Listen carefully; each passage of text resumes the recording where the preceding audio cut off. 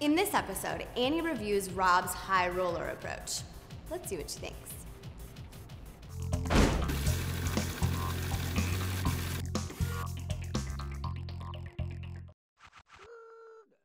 I'm here in the holiday market. Lots of beautiful women doing some holiday shopping. I'm There a are a lot of women usually Big at those.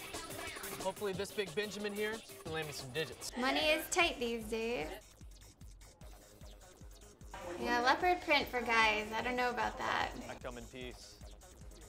Hello. How's it going? Oh, maybe it's gonna work. Quite a glove you're rocking today. What are you looking at?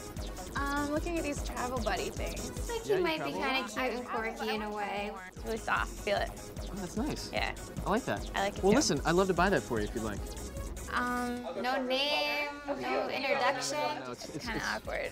it's no big deal at all. Let me just, uh, here, sir, if you don't mind. This guy is compensating for something. Yeah, it's no big deal. Maybe his parents gave it uh, to him. Who you the buy knows? Well, Um, how much?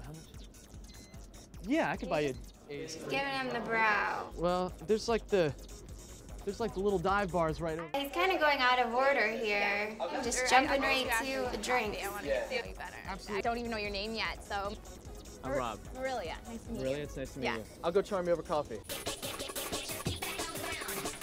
So the big spender thing works, but only if she pays for the second date. I think money is attractive in the sense that it shows he's got some stability and success in his life. But to throw it out there, flashing it all over the holiday market, it just seems a little desperate and cheesy. If you're flashing the money, that means you're lacking something somewhere else, I think.